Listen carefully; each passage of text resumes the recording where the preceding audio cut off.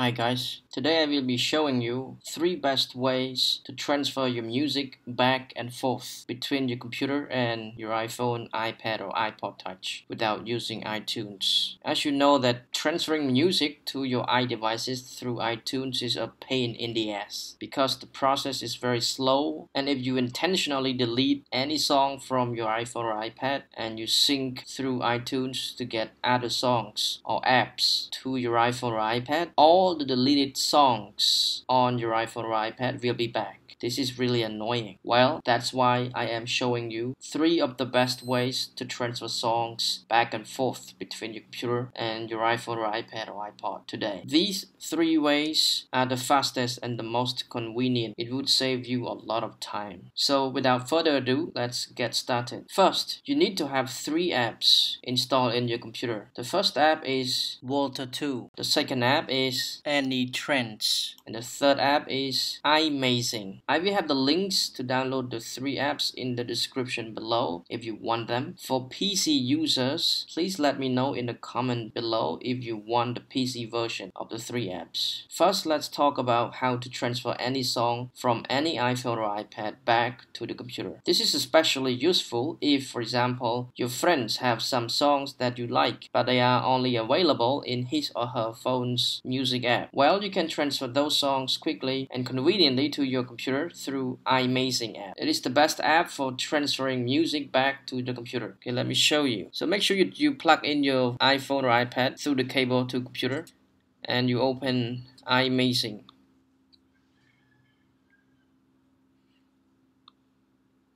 So this is my device. Like I said, for example, this is your friend's iPhone and you want some songs from his device. So you go to the music app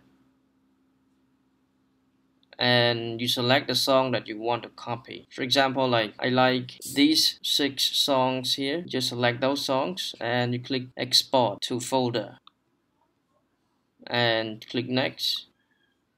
And this is where you can select the place you want to save the song. And I choose desktop. You can choose other place. It's up to you. Click next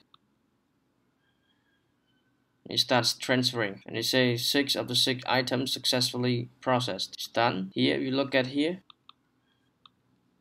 these are the songs that I transfer at the moment. It put in the folder called unknown album. It depends. If they know the artist, this app will automatically create the name of the artist for you. But because they don't know the artist, that's why you put unknown album. Okay, now I have the song from my friend. And imagine like I want that song to put in my iPad. So you just plug in your iPad here my iPad. So after you have transferred the songs that you want from your friend iPhone or iPad, and you want to transfer those songs to your iPhone or iPad. Well, in this case, you can still use iMazing or AnyTrans or Waltr 2 whichever you find the most convenient and the most time saving. Now I will show you how to transfer songs to your iPhone or iPad using each app and you can judge by yourself that which one you prefer. So I plug in my iPad here. Because uh, the iMazing app is still opening, I will start with this one first.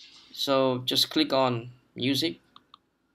And in my iPad I don't have any song. So what you have to do is select the song, paste. You can drag and drop like this and start copying. It's done.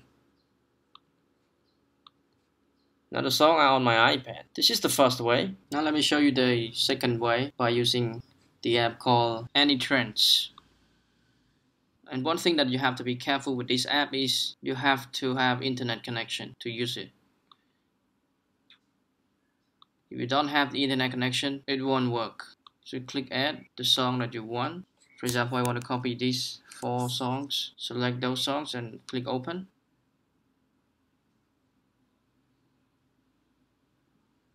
You start copying. Successful.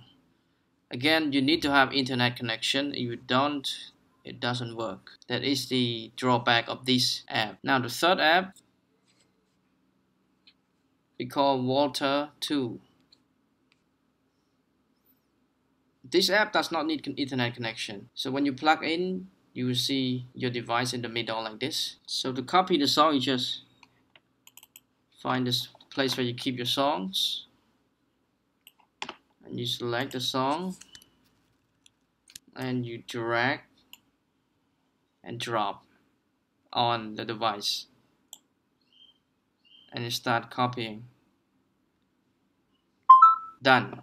So this is Waltr 2 and in my opinion I think the last one here is the fastest and the most convenient. Okay that's it guys. Thank you so much for watching. If you like the video please click like comment and subscribe for more useful video in the future. Have a great day guys. See you in the next video